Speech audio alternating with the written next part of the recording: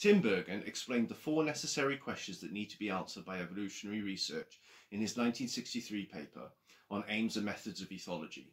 Ethology is the study of animal behaviour. The purpose of each question is to provide a framework to guide your hypothesis and study design, and to add clarity about the researcher's perspective.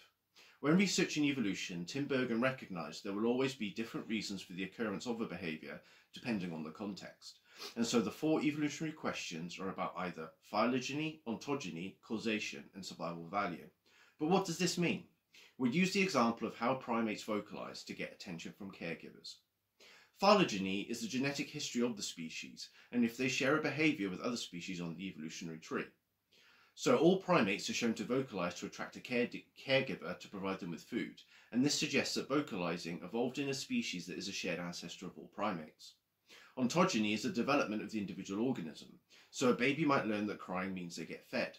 This is the interplay of genes and environment or nature versus nurture. Often with behaviour, we find there is a relationship between the two because simply having the gene for a behaviour doesn't mean that an organism will always exhibit it, depending on their environmental context. Causation is about the morphological or physiological causes that encourage the behaviour, such as what is the mechanism that is enabling the behaviour.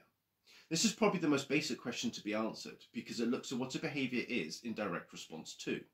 In our example, a baby is hungry and uncomfortable, yet currently has no way of expressing this verbally, and so the baby's physiology enables them to cry. Survival value is what people are probably more familiar with when they think of evolution, which is related to the survival of the fittest.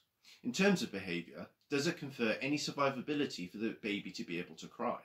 And if the answer is yes, then it means that the behaviour is more likely to be carried forward to subsequent generations of that species.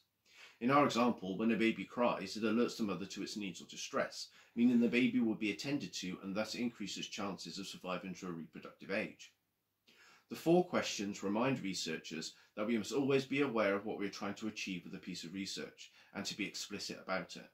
This is because some research methods are more appropriate for certain types of questions and for exploring a topic within a given paradigm. And also, some questions simply cannot be concluded from certain types of question.